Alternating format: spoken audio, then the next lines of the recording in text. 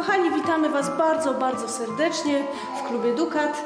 Wielkanocne palemki, kolorowy warsztat, który mam nadzieję, że w obecnym czasie wniesie odrobinę radości i koloru do naszych domów. Mamy przed sobą bazie bukszpan, Coś, co jeszcze tutaj wybrałam z naszego ogrodu, takie zielone gałązki. Myślę, że bardzo ładnie też będą ozdabiały Wasze palemki. Są jajeczka, które też sobie możecie powkładać wzorem tych, które tutaj są. I cóż, kochani, zabieramy się do pracy.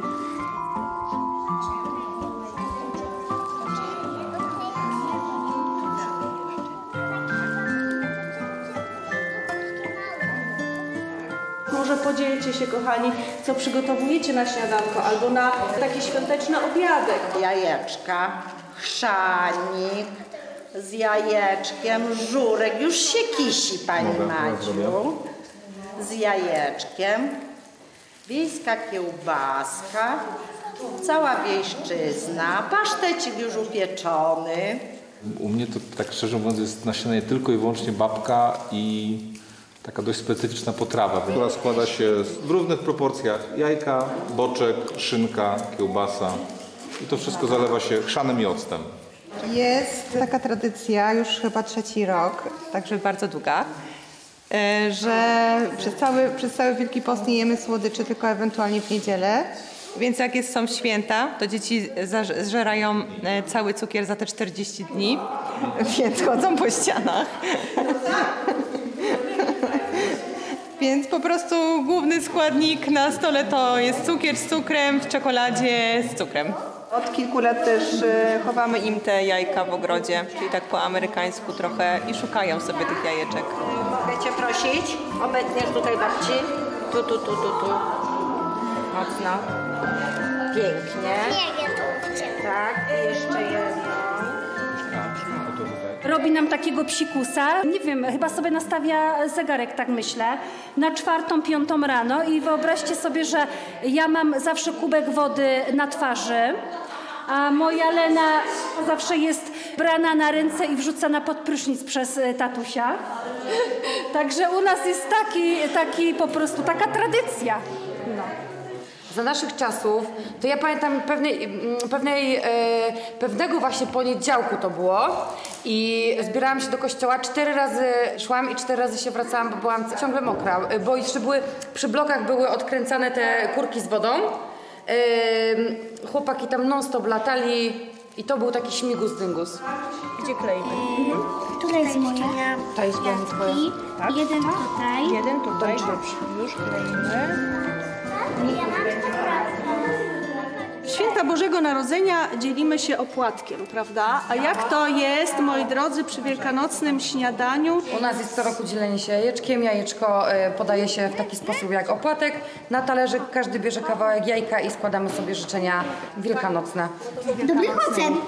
Dobrych ocen. Czego jeszcze, kochani? Dlaczego można życzyć w tych czasach? Żeby koronawirus się skończył i wojna. No, dokładnie. Żeby Pokoju na świecie, prawda? zdrowia, dobrych jajek, Smacznych jajek. dobrego śniegu za No, mokrego dyngusa.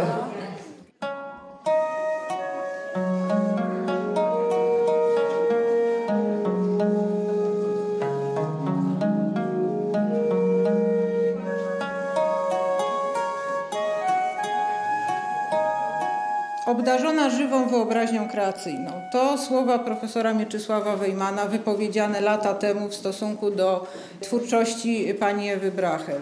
Jak Państwo widzicie, patrząc tu na ściany Galerii Huta Sztuki, ta wyobraźnia nie opuszcza artystki przez kolejne lata jej twórczości.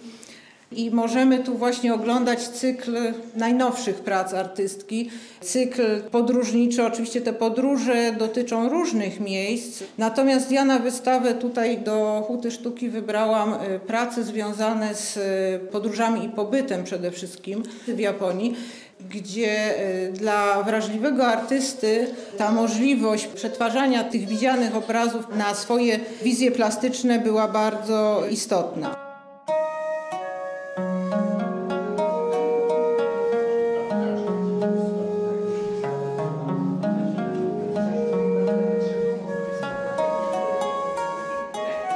Japonia jest wspaniałym światem. Oczarowywała mnie za każdym razem, ile razy tylko siadałam na lotnisku. Y, Po prostu świat nowoczesności, niesamowitej nowoczesności i świątyń, i strojów, i kimon, i zieleni cudownej, i kolorów niesamowitych.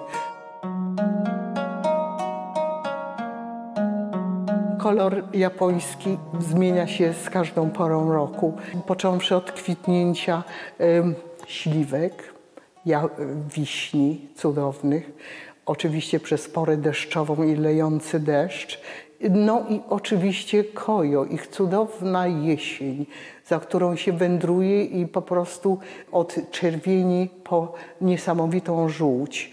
Wracałam do Japonii zawsze i zawsze wracałam z, to, z tym samym wrażeniem takiego niesamowitego uczucia, zafascynowania. Zasadzie po latach doszłam do możliwości pracy na komputerze. Oczywiście komputer, pierwsze programy komputerowe nie dawały nawet szansy plamy. Robiło się kropeczkami, krzyżykami i, i kreseczkami. No dzisiaj to jest zupełnie co innego.